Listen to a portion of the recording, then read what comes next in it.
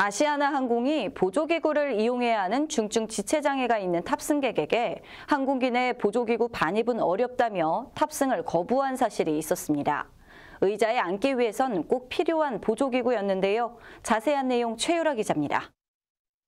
지난 3월 25일 신모 씨는 가족과 제주 여행을 마치고 집으로 돌아가기 위해 아시아나 항공을 이용하던 중 황당한 일을 겪었습니다.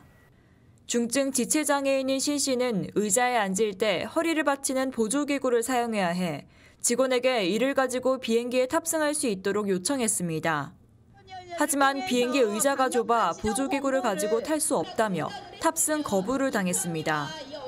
공항에 갔을 때 우리를 어, 무시하고 어 그래도 다, 말을 하면 어느 정도의 어, 답변을 할 수 있는 상황이 돼야 되는데 일방적인 통보 같은 것을 너무 많이 했기 때문에 우리는 거기, 거기서 억울함을 표현할 수가 없을 정도로 그냥 목 놓고 그냥 가만히 있기만 했, 했습니다.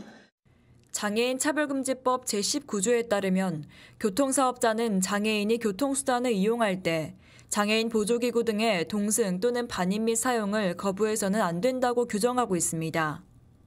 이는 결국 아시아나항공이 진정인의 보조기구의 반입과 사용을 거부하고 항공기 이용에 있어 장애인을 배제한 것으로서 장애인 차별금지법을 위반한 것입니다. 신 씨의 아버지는 아시아나항공 고객민원실을 통해 해당 사건에 대해 문의했지만 당사 규정에 따라 정해진 규격에 맞는 사이즈만 기내 반입이 허용된다며 보조기구가 규격 사이즈를 초과했다는 답변을 받았습니다.